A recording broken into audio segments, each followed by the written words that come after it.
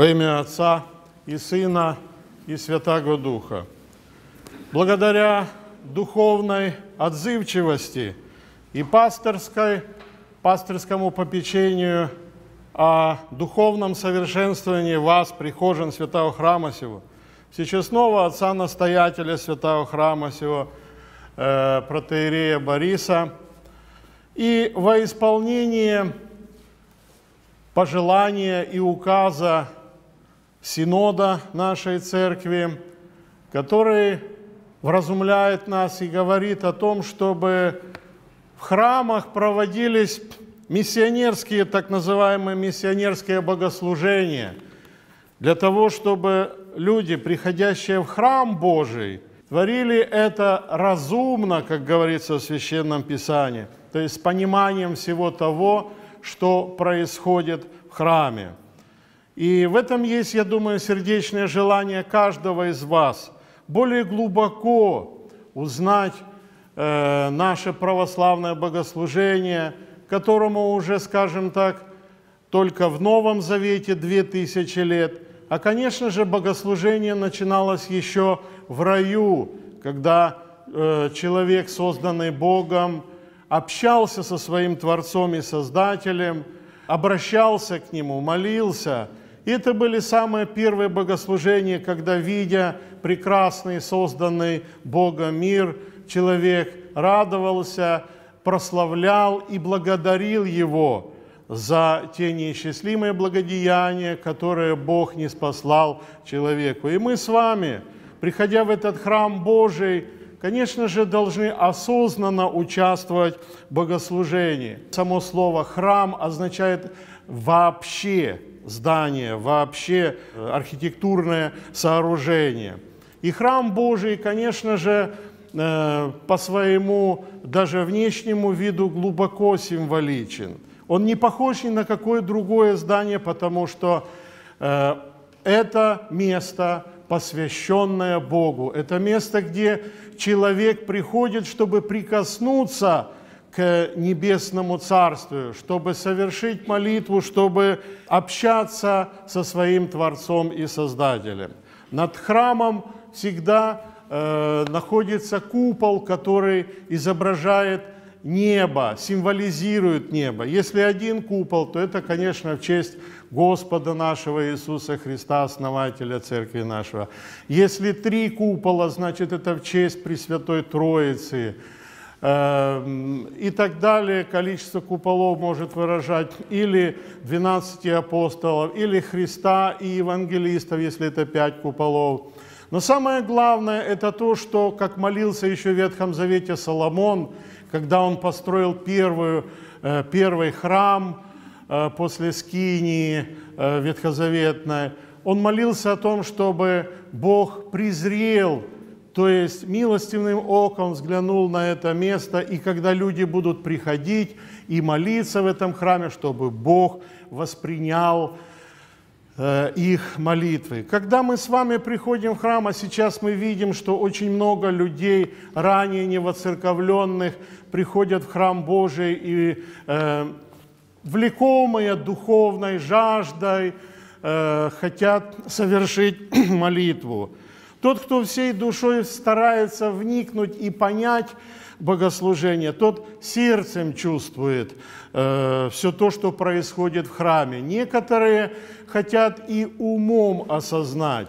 И здесь, конечно, многих людей постигают искушения. Они говорят, вы совершаете богослужение на непонятном нам церковно-славянском языке, и нам трудно Эм, вникнуть в смысл происходящего в храме. Вы знаете, если, скажем, человек хочет чего-то достигнуть, он ищет способы и средства. Если не хочет, он ищет причины отказаться от этого. Мы знаем много иностранных слов э, в современном мире, там и дебет, и кредит, и э, там всякие ипотека и прочие иностранные слова – и мало прилагаем усилий для того, чтобы вникнуть в мелодику, э, в таинство церковно-славянского языка. Это ведь особенный язык, язык, в котором нет – Э, пустых слов, нет бранных слов. Это язык общения человека с Богом. Это праязык. Это и не русский, и не украинский, и не белорусский язык. Это церковно-славянский язык, который принесли нам святые братья Кирилл и Мефодий, и, пользуясь которым мы обращаемся к Богу. И вот э, не нам необходимо опускать до нашего сознания перевод богослужения, а э, нам необходимо подниматься до высот этого действительно божественного языка, потому что э, всякий молящийся на нем как бы переходит в особенную плоскость общения человеком с Богом. И вот мы вошли в храм Божий. Как видим, он состоит из трех частей. Притвор, главная часть и алтарь, э, то есть святая святых – в этом наши новозаветные христианские храмы подражают тому ветхозаветному храму, который был э, сотворен э, по э, указанию Божию еще во, вре, э, во времена Моисея, еще в Ветхом Завете. Когда мы вошли в храм Божий,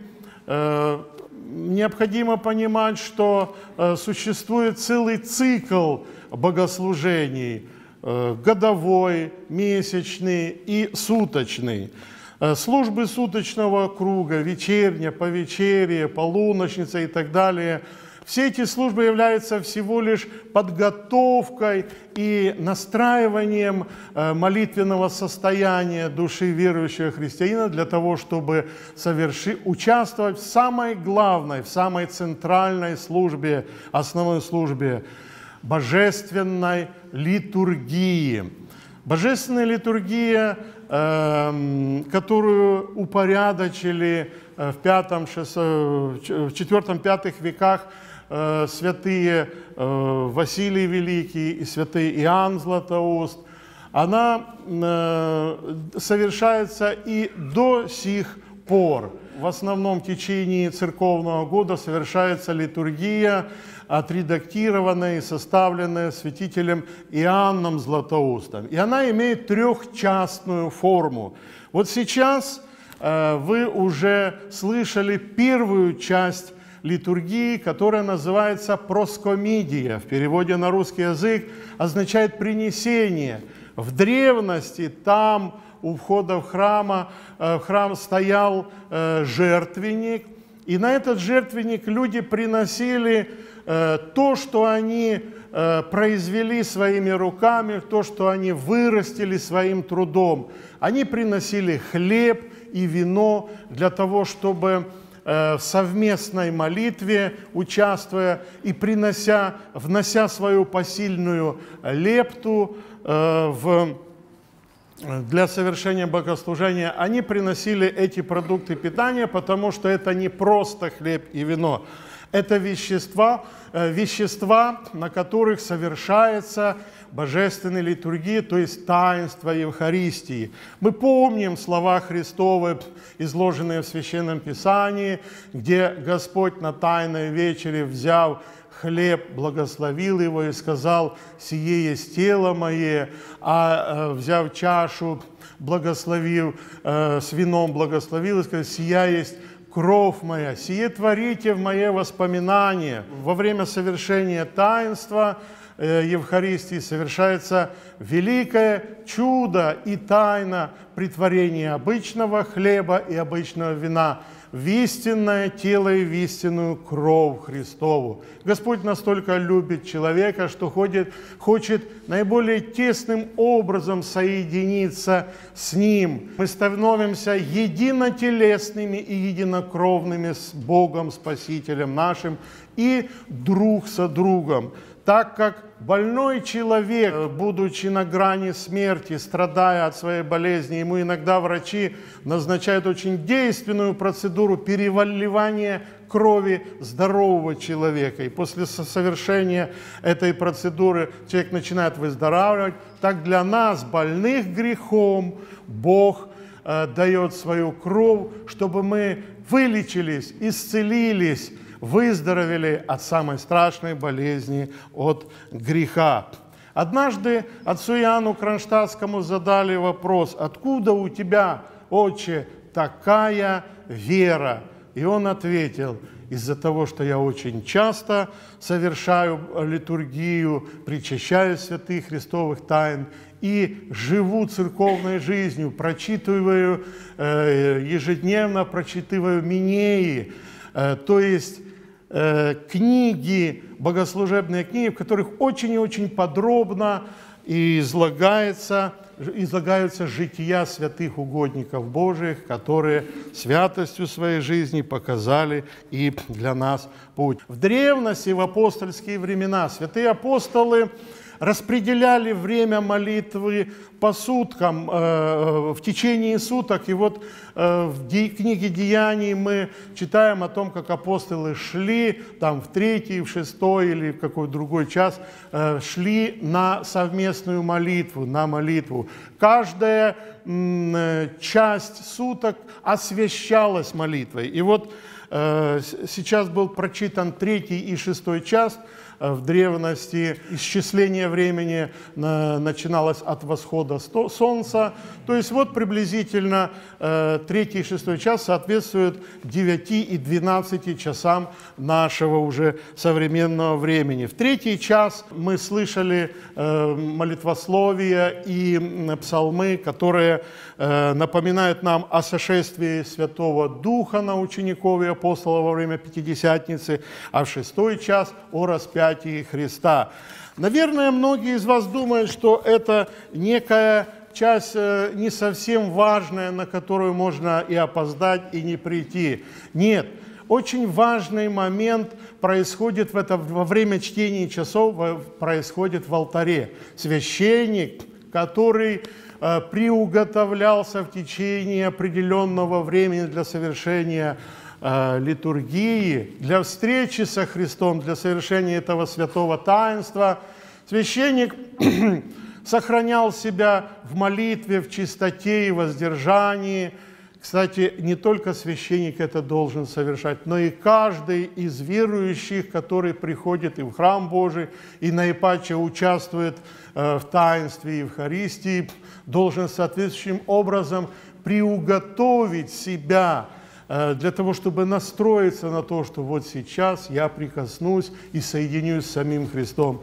Священник, совершив положенные входные молитвы, попросив у Бога помощи и поддержки в предстоящем служении, входит в алтарь и одевает на себя священные одежды. Это одежда, которая не похожа на э, ту обычную одежду, которую носит каждый из нас. То есть Э, это священные одежды, которые как бы отделяют его от остального мира и от всего того, чем он жил до сих пор в этом мятущемся и суетном мире. Затем принесенные пять Э, небольших хлебцев, которые называются просфора. И, собственно, переводится с греческого языка как приношение.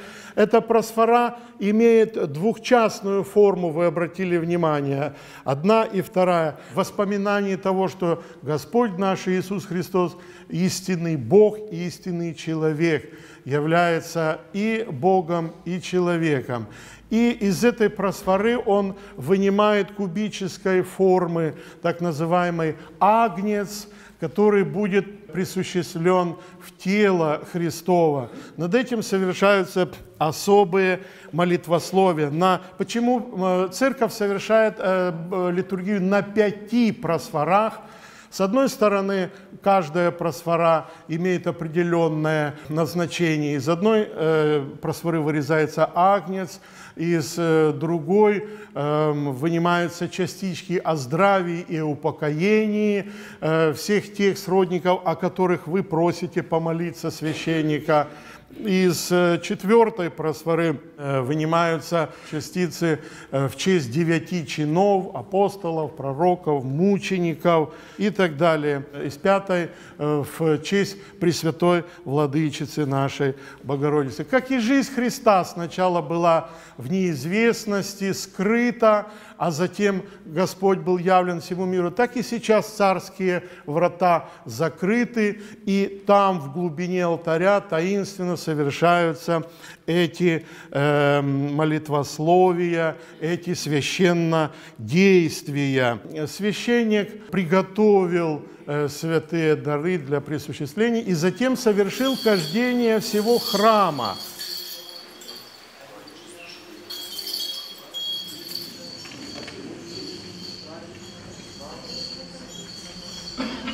Это было э, приветствие и почитание и икон святых, которые с нами, а мы знаем, что икона – это образ тех святых, которые с нами сейчас присутствуют на богослужении. И каждого из вас священник покадил, выражая мысль, что он приветствует вас, пришедших в храм, как самого дорогого гостя, окадив вас этим фимиамом, окадив ладана и помолившись э, в это время о всех вас.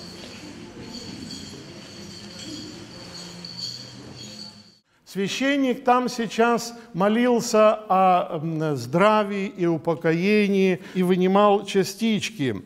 Затем, в конце уже я об этом еще скажу, эти частицы будут опущены в чашу с кровью Христовой, с великими и страшными словами. «Отмый, Господи, грехи поминавшихся здесь, кровью Твоею честною. Великое страшное таинство произойдет, потому что все, о ком мы сегодня молились, о ком молился священник, они, их грехи и живых, и усопших будут омыты кровью Агнца, Спасителя нашего, э, принесшего себя в жертву за грехи всего мира. Во времена святителя Василия Великого произошла потрясающая история. Однажды один купец э, попросил молодого еще священнослужителя, попросил, чтобы он молился э, о, нем и о его сродниках, и дал ему большую сумму 500 золотых монет –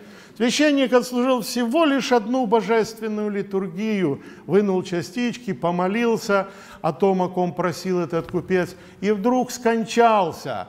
Опечалился он, пришел и стал требовать, ты же, я же давал, я же просил молиться всю жизнь священника, а вот он пристался, он пришел к его супруге, к матушке и стал требовать назад эти деньги – она не могла вернуть, потому что были эти средства израсходованы на погребение и на раздачу долгов и так далее.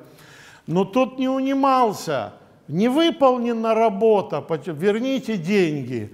И тогда она пошла, эта женщина пошла со своим горем к святителю Василию Великому, и тот говорил, завтра на литургии приходите оба, и пусть он приходит – Э, на службу. Когда пришел этот купец, э, святитель Василий Великий вынул частички о его здравии, о его э, сродниках. А теперь говорит, возьмите весы и на одну чашу весов эту частицу поместите о его здравии.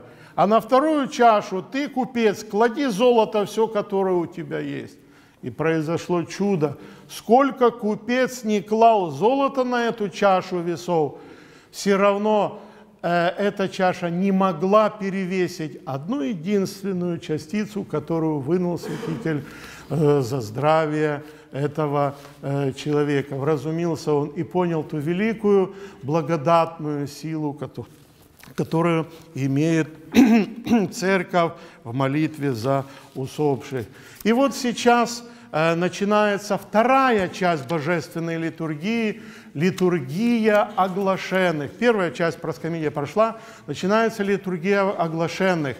В древности на этой литургии могли присутствовать те, э, кто ну, конечно, был уже крещен, был членом церкви, и те, кто еще готовился к принятию таинства крещения, те, кто еще только проходил оглашение, то есть слушал э, лекции о основах христианской веры. Они э, в этой второй части э, божественной литургии, которая от начала сейчас и до Херувимской песни, в этой части совершались чтение и пение псалмов, чтение священного писания, молитва о живых и о усопших – и все могли в этом участвовать. Затем уже, когда э, подходило время к третьей части, э, собственно, совершению таинства Евхаристии, э, и, ну, об этом я чуть попозже скажу. На этой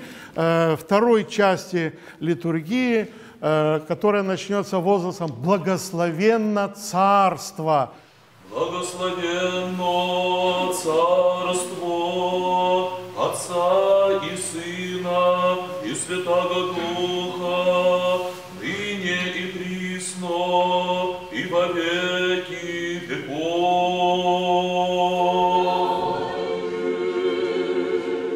Священник призывает нас не просто быть статистами, не просто стоять здесь в храме, призывает нас благословлять э, стремиться в Царствие Божие.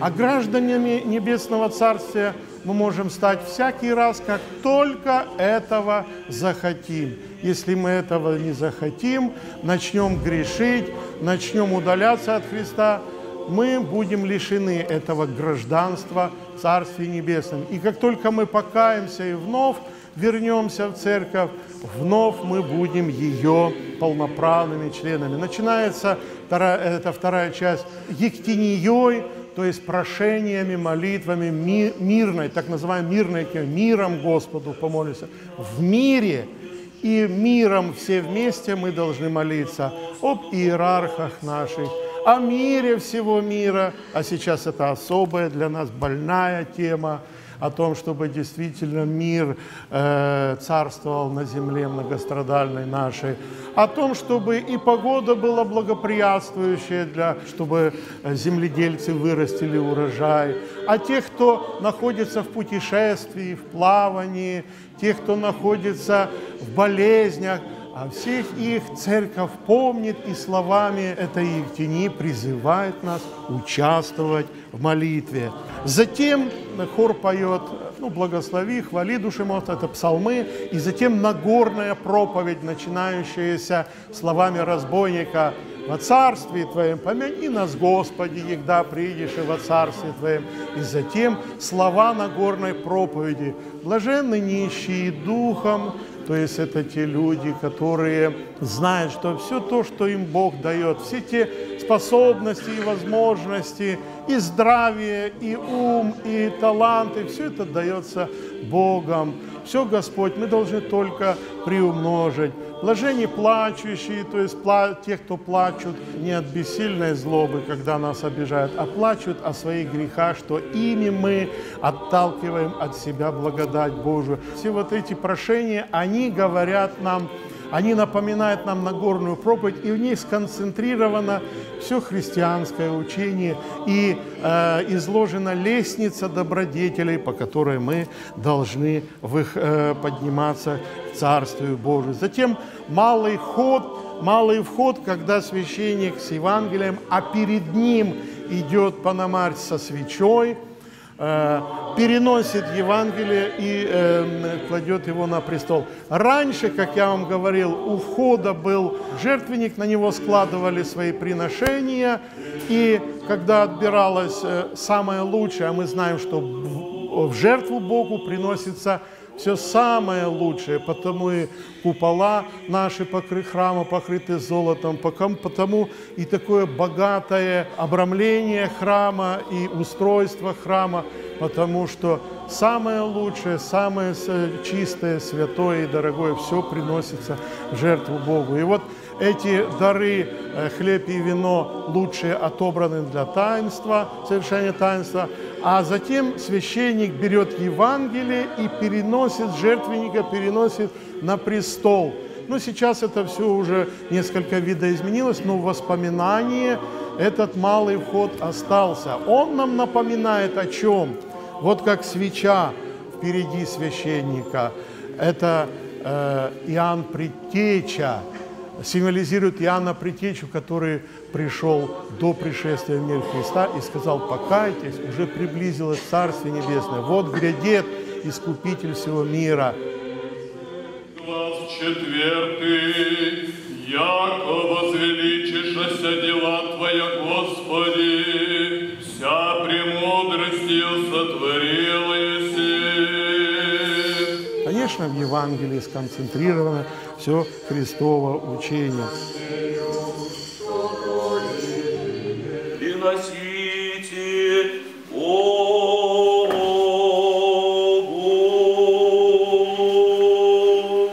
Далее поются тропари, это изменяемая часть литургии. Все остальное, конечно, э, кроме запричастного стиха и чтения Священного Писания, неизменяемое.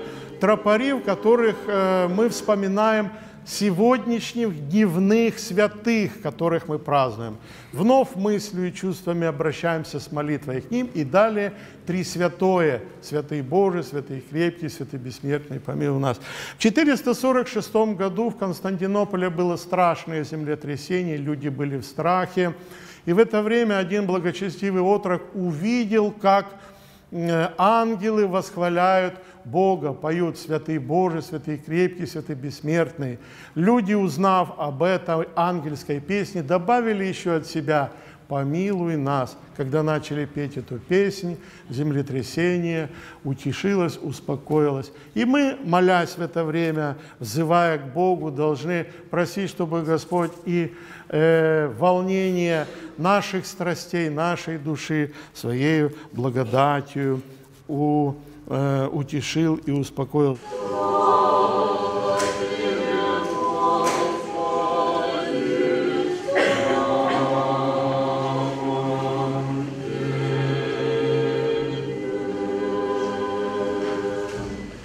Продолжается вторая часть божественной литургии, литургия оглашенных. На этой части литургии, как мы уже говорили, Э, были пропеты антифоны, прочитаны псалмы, прочитаны отрывки из Священного Писания, положенные э, именно в сегодняшний день.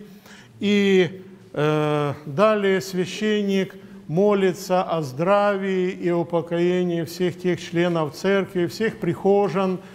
И мы должны особенно участвовать в этом молитвенном порыве, потому что у каждого из нас – есть сродники, которые нуждаются в наших молитвах, особенно те, кто там, вне пределах церкви, особенно тех, кто сейчас не с нами э, и не разделяет с нами радость молитвенного общения, те, кто безразличен, тех, кого суета и э, прочие страсти не допускают до э, молитвенного э, предстательства пред Богом здесь, в храме Божием они э, находятся в духовном расслаблении, им тяжело заставить себя, поднять себя, подняться э, от одра не только вещественного, но и от одра э, болезни духовной, расслабления. И о них мы должны молиться.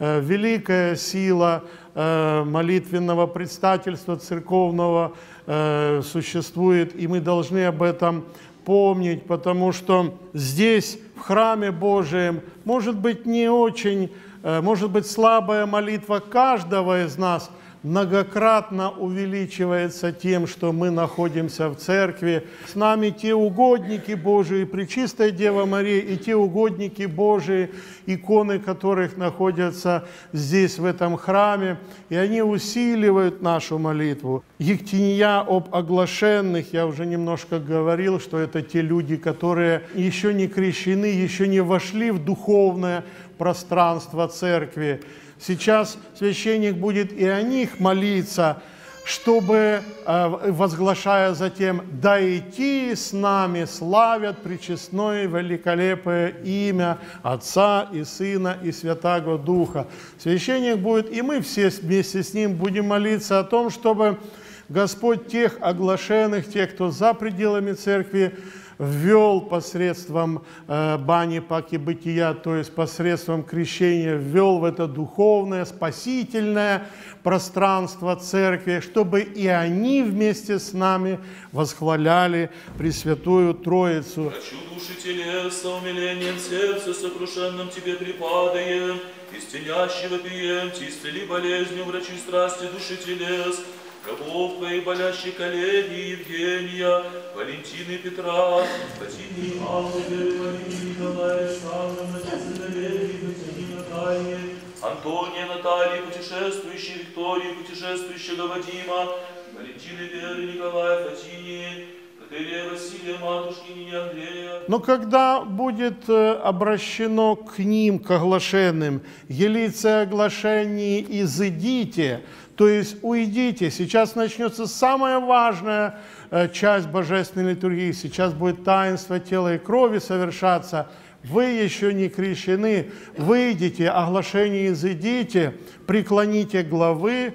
Э, Здесь мы должны внимательными быть. Не мы должны преклонять головы, те, кто уже крещен, а пусть преклонят головы те, кто еще не крещен, наклонят головы, помолятся и пойдут во свояси, потому что на этой части им не положено присутствовать. И вот когда церковь предложит им удалиться, зададим вопрос и мы каждому себе. Да, я крещен церкви, да, я являюсь членом Христовой церкви, но по совести имею ли я право э, сказать о том, что да, вот я среди Твоих рабов, Господи, не удаляю ли я себя из этого спасительного э, ковчега и спасительного корабля церковного своими грехами, своими страстями, зададим и себе этот вопрос. Помолитесь о оглашении Господи.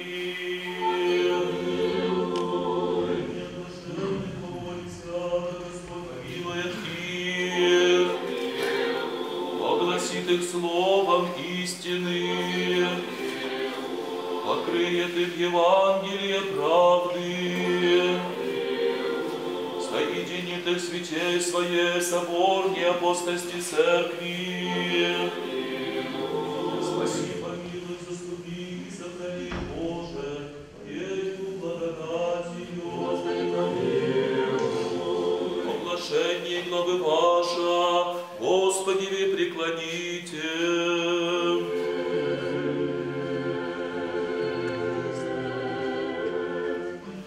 Славу воссылаем Отцу и Сыну и Святому Духу ныне и присно, и во веки веков.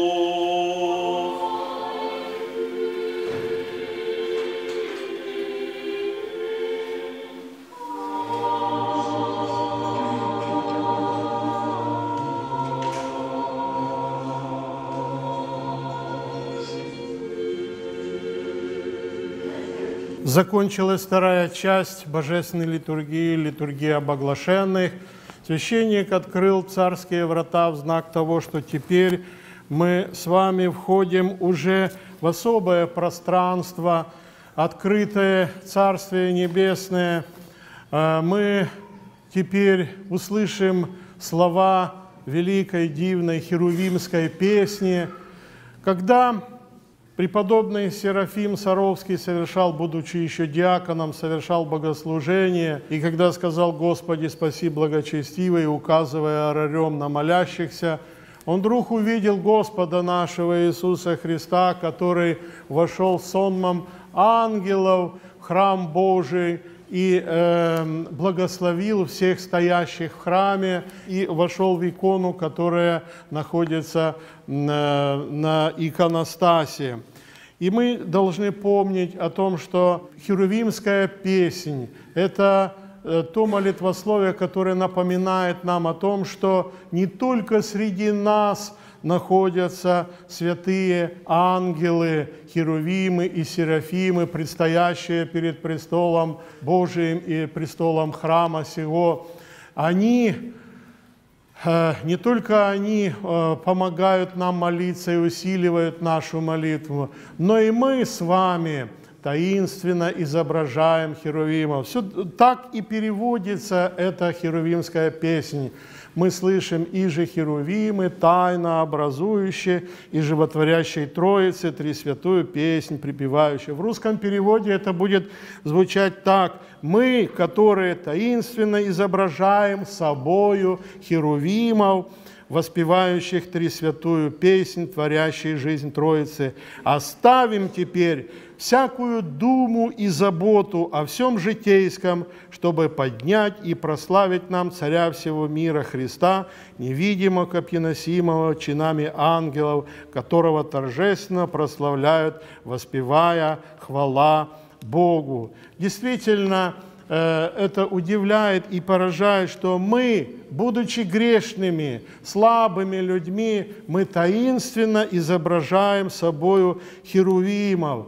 Многие в недоумении останавливаются перед этой мыслью, но действительно священные слова херувимской песни – приоткрывают нам эту великую тайну о том, что мы, несмотря на свою греховность, несмотря на свою приверженность греху, мы все-таки, нам открываются великие тайны Царствия Божия, нам открываются великие возможности, преодолев грех, быть участниками э, службы, э, служения ангелов – как телом мы пребываем в храме, здании Божьем, так наша богоносная душа во всем, кроме греха, подобная ангелам небесным, пребывает в живом храме теле, если он чист и свят. Великую радость, великие, великую перспективу дает нам Бог, чтобы мы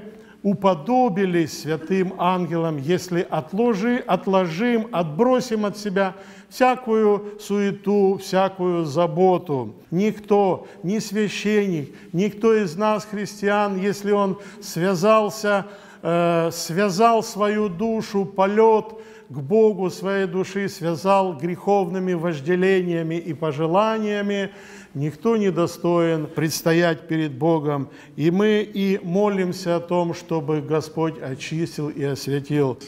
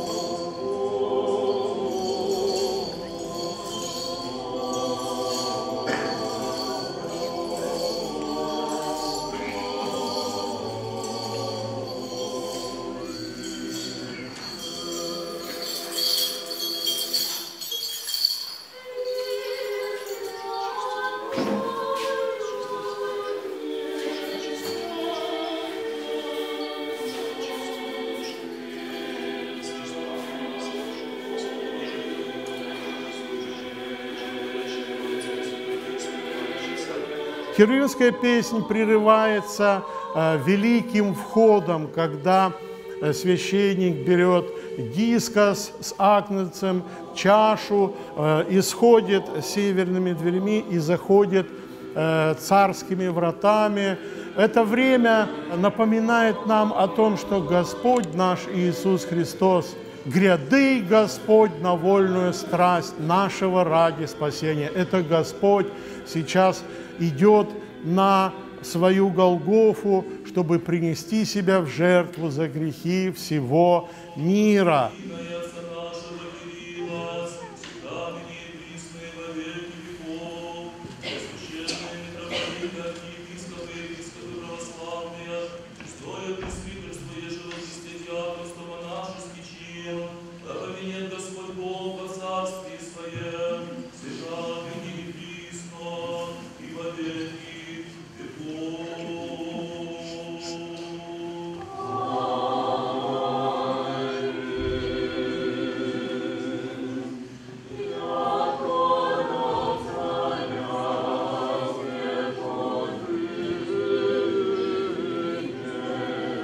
И далее мы слышим слова, которые непонятны. Да? «Яко до царя» идет вторая часть херувимская, «Яко до царя всех подымем ангельскими невидимо дари носимо чинми». Что это за слова? «Ангельскими невидимо дари носимо чинми».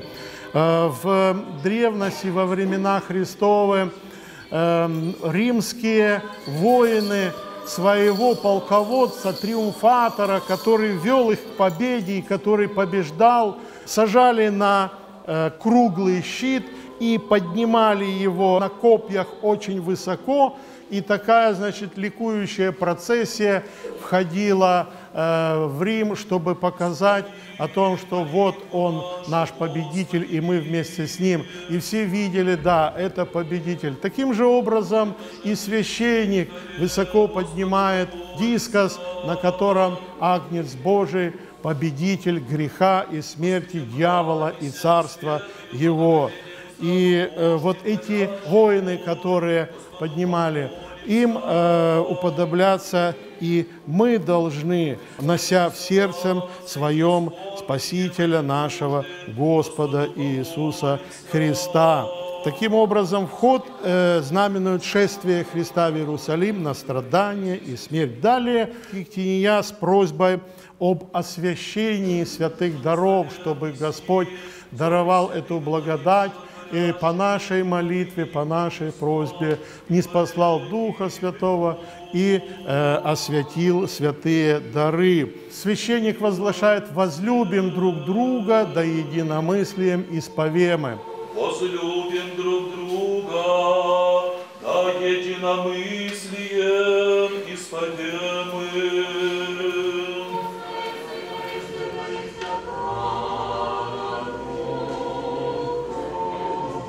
Без любви к ближнему нельзя говорить о любви к Богу, говорит апостол Иоанн Богослов. Как ты говоришь, что ты Бога э, любишь, а брата своего ненавидишь?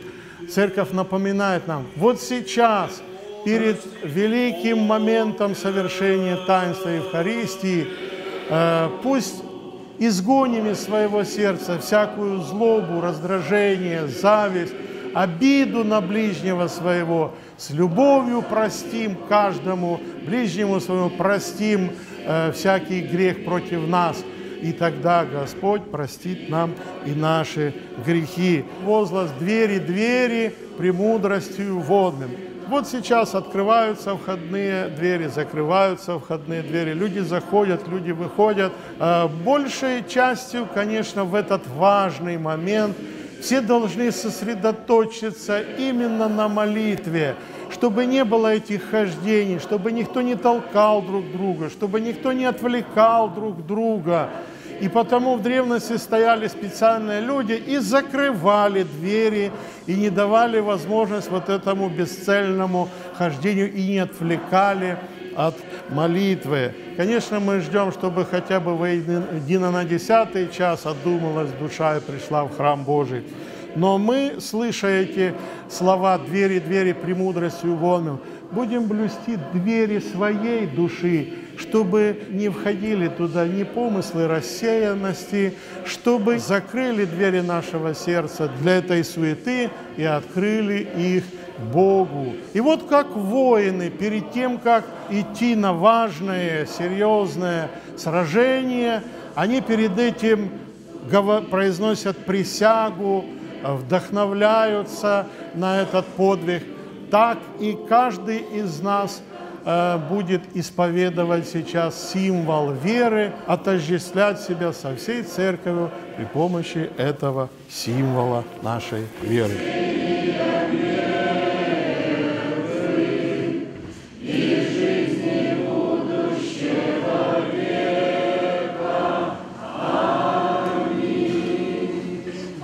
Сейчас начнется третья, самая важная часть божественной литургии, на которой и произойдет великое таинство присуществления хлеба и вина в тело и кровь Господнем.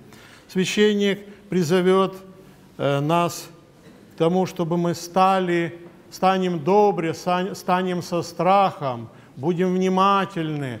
Святое возношение приносится в мире. И от лица молящихся э, хор будет говорить «милость мира, жертву хваления». То есть это дар взаимной любви, которые, те дары, которые первые христиане приносили в храм, как знак мира и любви друг к другу, сейчас будут принесены и совершена над ними освящающая молитва. Еще священник призывает «горе имеем сердца», имеем сердца.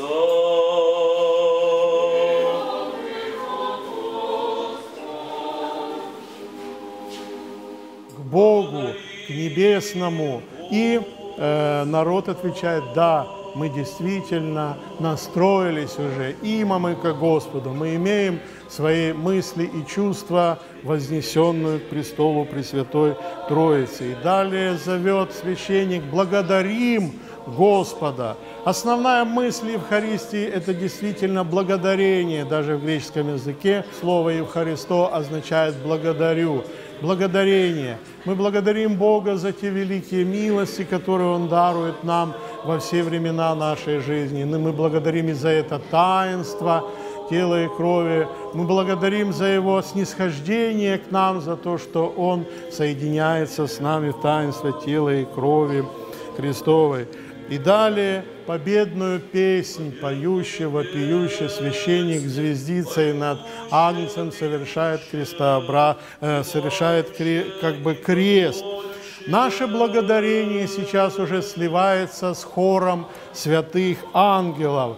Свят, свят, свят Господь Саваоф, э, слышим мы в это время от нашего лица, поет в это время хор. Эти слова из Э, апокалипсиса, из откровений Иоанна Богослова, который видел перед престолом Божиим э, животное, подобное льву, тельцу и орлу, и лицо человека, поющее ангела в виде орла, вопиющее ангела в э, образе тельца, взывающее ангела в образе льва и глаголющее ангела в образе человека. Действительно, в этот важный момент литургии ангелы предстоят перед престолом, и священник вспоминает ту основополагающую христианстве ночь, когда Спаситель наш был предан на распятие. Сие есть тело мое, еже забыло мимое, по оставление грехов.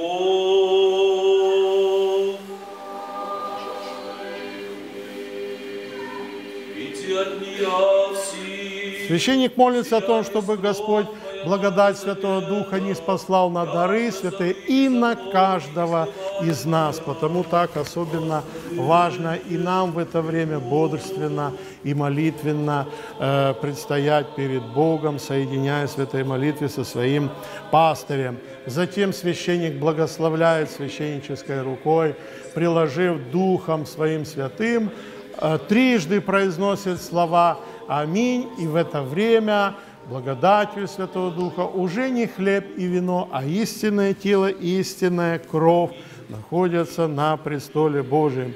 Эта жертва имеет благодарственное, умилостивительное и очистительное значение для всех нас. Священник молится вспоминает не только праведников, но и всю церковь, молится о живых и усопших.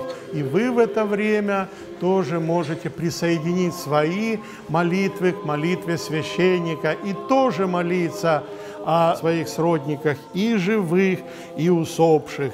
Молитва, которой научил нас сам Господь наш Иисус Христос. «Отче наш, и же еси на небесех». Но самое главное – мысль этой молитвы. Мы обращаемся к Богу не как к грозному судьи и воздаятелю за грехи наши, а как к небесному Отцу. Затем священник говорит, святая святым, поднимая тело Христова над дискосом, он говорит нам о том, что это святыня, тело Христова. К нему э, имеют право прикоснуться только святые. Не мы со смирением, преклоняя главы своих, Господи, а кто может быть таким святым?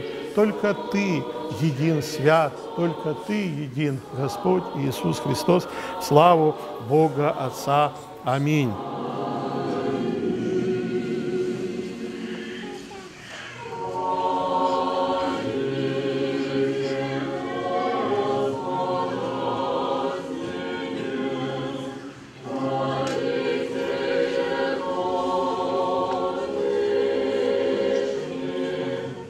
Священник исходит, износит чашу с телом и кровью и приглашает всех нас со страхом Божьим и верою «приступите».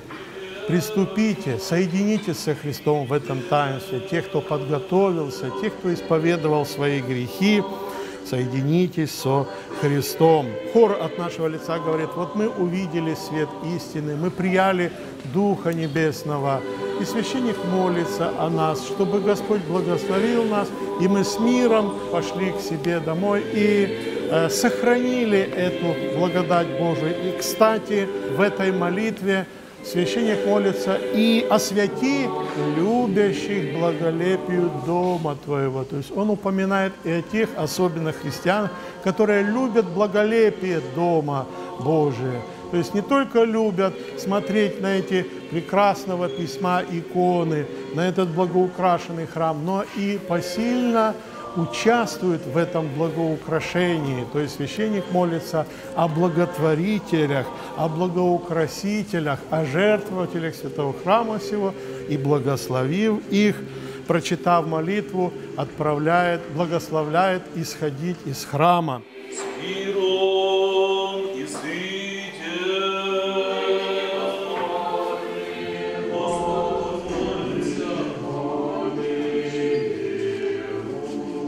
Затем э, в некоторых храмах есть обычай в конце литургии раздавать антидор, то есть это та часть просфоры, из которой вынимался агнец, для тех, кто не причащался святых христовых тайн, для них хотя бы вот прикосновение к этой святыне должно послужить неким утешением. Любое священное действие имеет богатую очень глубокий смысл и богатую историю.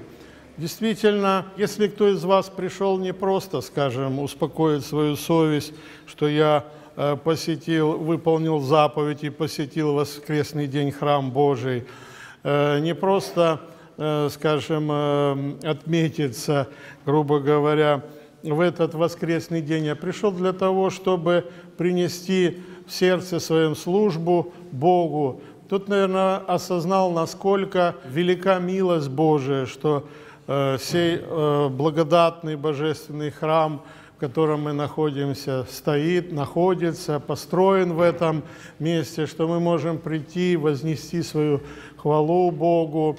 Если здесь для нас общение с Богом и Его святыми лишь тягость или тягостная обязанность, то разве там будет нам это в радость? А для всего этого и существует церковь, и существуют пастыри, поставленные нам от Бога. Да, мы читаем Священное Писание, да, мы читаем жития святых отцов, мы можем судить о тех или иных духовных явлениях, но мы также и можем прочитать скажем, какие-то медицинские книжки, полистать э, справочники, а вот это лекарство от живота, это от головы, грубо говоря, это при таких заболеваниях, это при таких заболеваниях. Глуп человек будет, если он начнет своим собственным умом руководствоваться а не, и, и принимать бесконтрольно те или иные лекарства. Э, для этого существуют врачи, которые, исходя из индивидуальных особенностей именно, из особенностей именно вашего организма, пропишет вам то или иное лекарство. То лекарство, которое поможет именно вам, а не то, которое помогло соседу. Но такую аналогию я привожу для того, чтобы э, мы поняли о том, что и в случае приема духовных лекарств, покаяния, смирения, борьбы с грехом, здесь необходима помощь нашего духовника, наших пастырей, чтобы они, учитывая особенности нашей и духовной, и телесной жизни, руководили нами, то есть вели нас за руку к спасению.